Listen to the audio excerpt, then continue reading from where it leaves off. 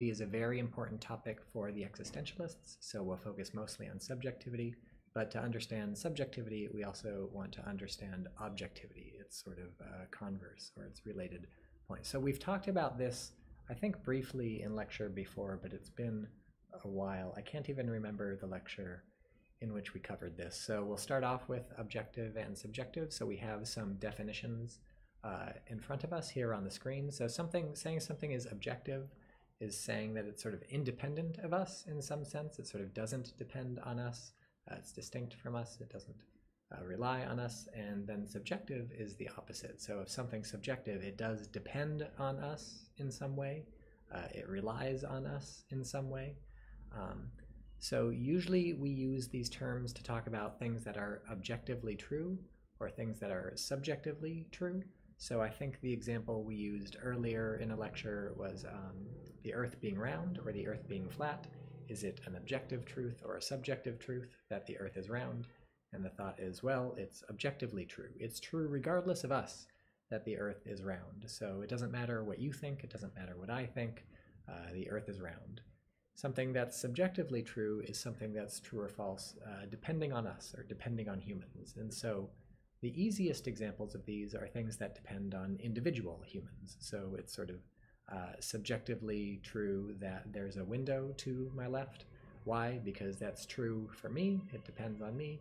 It may also be true for you. It may be false for you. It's sort of subjective to each person. And this can uh, also be subjective depending on where you are. So subjectivity kind of can vary depending on all sorts of factors about the subject, but the basic thought is if it depends on you somehow, then it's sort of a subjective truth. Otherwise, it's objective truth. So uh, ideally, what you want to do right now is pause the video and try to come up with examples of things that are objectively true and things that are examples of uh, things that are subjectively true. So I suggest pause. Um, whether or not you paused, welcome back. Uh, here's some examples. So for things that are objectively true, I have water is H2O. So the thought is, look, it doesn't matter what you do, what I do, what anybody is up to. Water is dihydrogen monoxide, and that's just something true about water. Uh, cats can sneeze. So again, the thought is, doesn't matter what you do, doesn't matter what I do. Cats sneeze, and that's just a truth about the world, an objective truth about the world independent of us. Finally, the earth is round is the example we've used before. Doesn't matter what's going on in your head, doesn't matter what's going on in my head, doesn't matter what we're doing in our lives. The earth is round. Deal with it. So uh, then we have subjective truths. So samosas taste great. So the thought is this is true for me. Why? Well, this depends on something about me. It depends on me liking samosas. If I didn't like samosas, it would be false. Uh, it's totally up to me. It's also totally up to you. Notice the truth can vary between us. So if you don't like samosas and I do like samosas, it's false for you, but it's true for me. So we get different truths sort of floating around out there. That's different from what's objectively true. There's one objective truth about water or about cats or about the earth. There's not multiple truths, but there's multiple truths about samosas. Some people maybe don't like samosas out there. Uh, Modi is PM. So notice this could be different. This could change, not depending on votes or something. Of course, that could change depending on votes. But really, if everybody wakes up tomorrow and just decides, no, Modi is not the prime minister, I don't believe that Modi is the prime minister, then Modi is not going to be the prime minister anymore. Why? How do we know? Well, because look, whoever we treat as the prime minister is the prime minister. If people stop treating Modi as the prime minister, they say, we're just going to ignore all the laws, we're going to ignore that he won the election, uh, we're not going to treat him as the PM, then he isn't going to be the PM anymore. It gets complicated. You might say, well, no, I think the PM is whoever won the election, and people can just be wrong about this. And so maybe this isn't a perfect example. We can sort of have a debate about this. Similarly, if we look at the next example, seven onions at the store cost 15 rupees.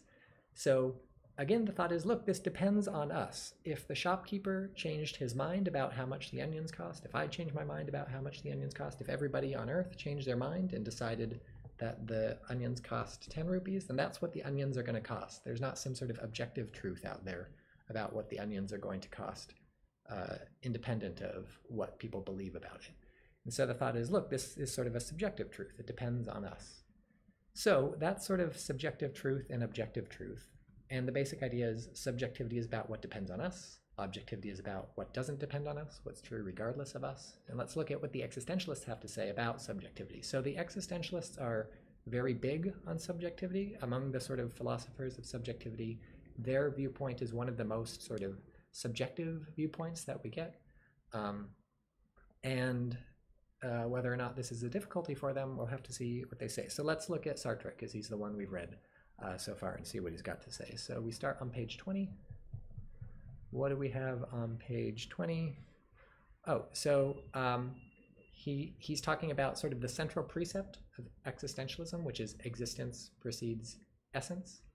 And so he's saying, what do the existentialists have in common?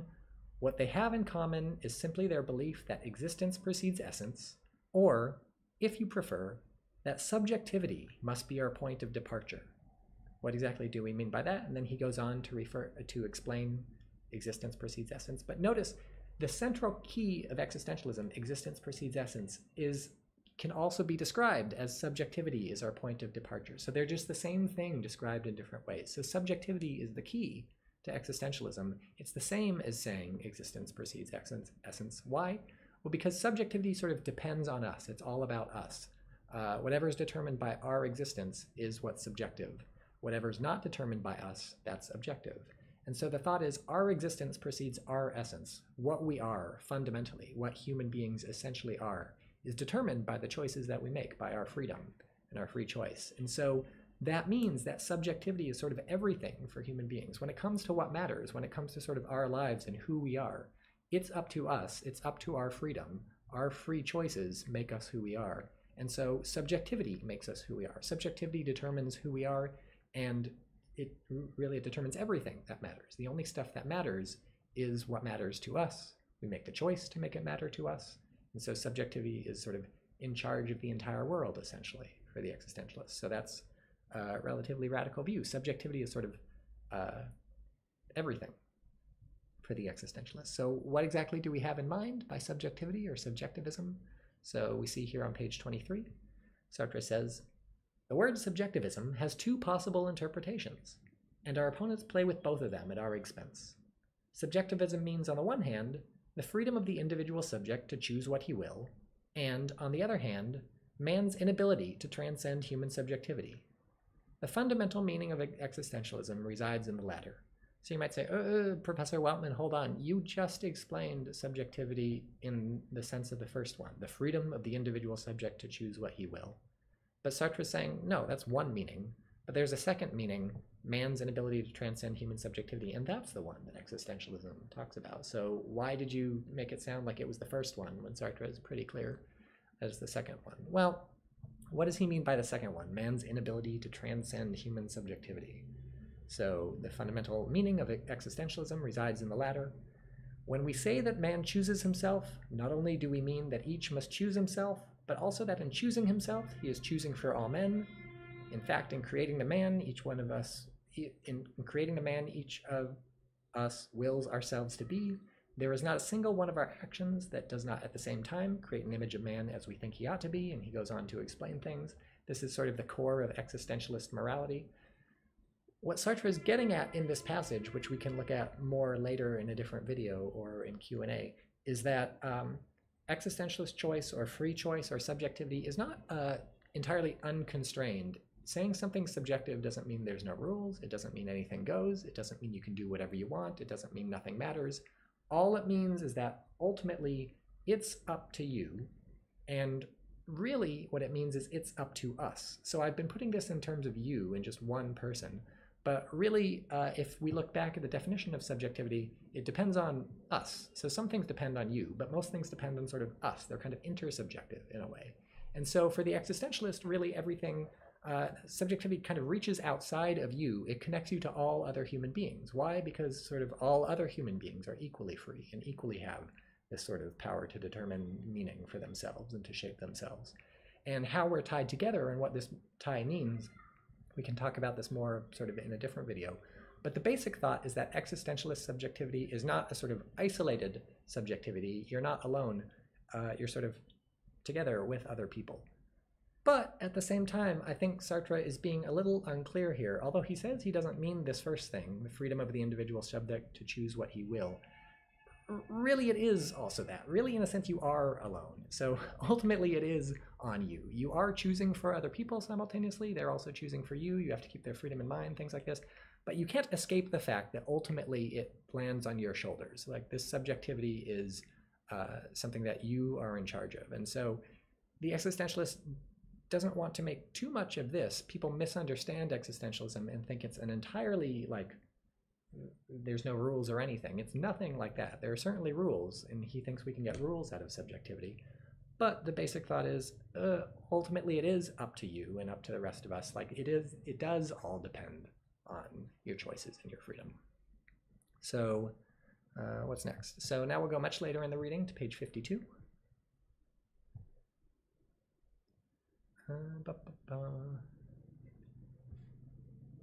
Oh, no, very slightly back to 23. If I were editing these videos, I'd probably cut this out, but it's more. So 23, right before this, uh, here's an important point. Man is indeed a project that has a subjective existence, rather unlike that of a patch of moss, a spreading fungus, or a cauliflower. And you could probably go further with this. I think the subjectivity that existentialism is interested in uh, really only applies to humans for the existentialists. So the thought is here's something special about humanity. Subjectivity is something very special. Uh, it doesn't apply to other species, to other creatures, not to moss, not to rocks.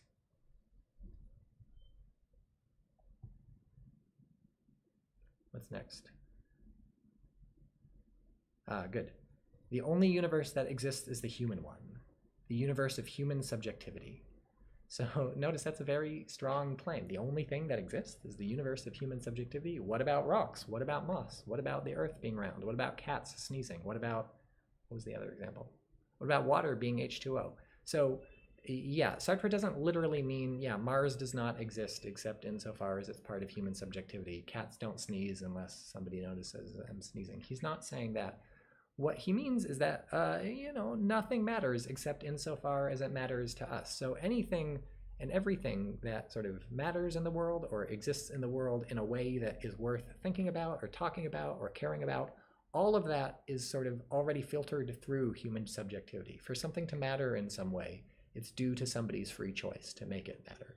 And so it's not like the existentialist denies that there's other stuff in the world, that there's objective stuff in the world. It's just that that objective stuff does not matter. There's no point in worrying about the objective stuff unless you make a choice to worry about the objective stuff, which, great, go right ahead, make choices uh, to do whatever you like. That's the existentialist point. But until you make some sort of choice with respect to that objective stuff, there's just nothing interesting to say about it. Even the choice not to make a choice about it that's a choice. So Sartre is that somewhere. So ultimately, there's something we can say about everything in terms of our choices. But the point is, it all gets filtered through, or it all depends on human subjectivity. Human subjectivity is at the root of everything that matters in the universe. Uh, the universe that exists is the human one, the universe of human subjectivity. So again, a very strong human-centered, freedom-centered, subjectivity-centered claim. And then finally, to get a sort of more concrete version of this, um,